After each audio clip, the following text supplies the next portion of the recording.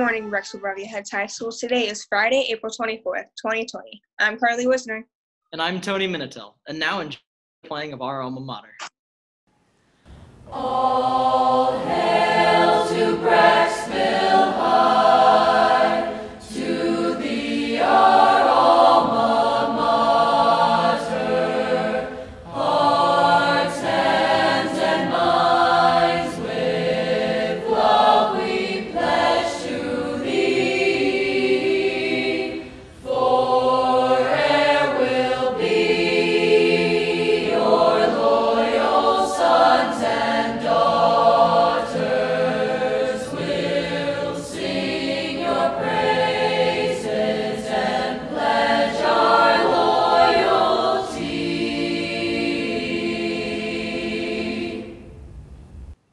The Grab and Go breakfast and lunch program will remain available for those students wishing to participate for the duration of those ordered during the school closure. Meals can be picked up curbside at two locations, Brecksville-Broadview Heights High School and Highland Elementary School between 11:30 a.m. and 1 p.m. on Tuesdays and Thursdays. Students must be present and have their assigned PIN number to receive their meals. Adults and students cannot congregate on site. Please place your orders by 7 a.m. on Monday by clicking the following link. Check out the AP YouTube channel, which will feature AP teachers, trainers with lessons and new content, which will be updated regularly. The technology department has set up a Google form for you to get help. If you use this form, our school district technicians will get in touch with you and try to help. If you can't get online at all, you can also call 440 447 0111 during school hours and have someone help you. You may have to leave a voice message when calling this number, but someone will get back to you as quickly as we can. Finally, if your Chromebook needs prepared, you can bring it to the Middle School Media Center on Thursday mornings from 8 to 10 a.m. The staff will be available to help anyone grades 3 through 12 with a school issued device.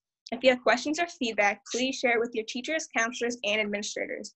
We will, be con- we will continue to be here for you and want to solve any problems or answer any questions out there. There will be a colony period Wednesday, April 29th at 10:15 a.m. till 10:30 a.m.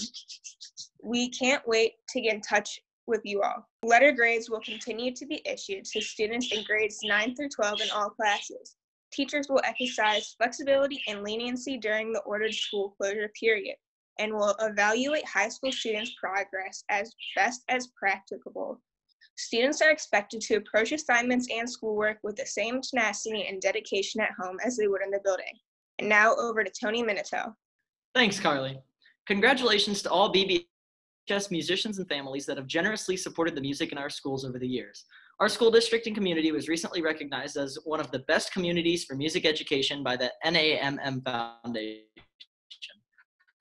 This is an award that reflects the hard work of our students, amazing support of our, and the tremendous dedication of our music educators.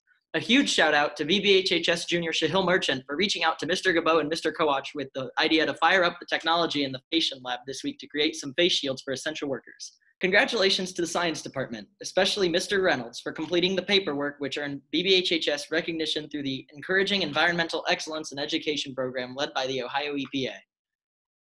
Attention current BBHHS Model UN members. If you are interested in applying for an officer position, you must complete this application form by May 1st. Current officers need not apply. Attention seniors. There will be details provided shortly regarding graduation.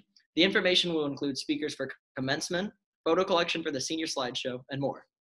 Congratulations to the BBHHS team on the recent recognition through US News and World Report Best High Schools ranking.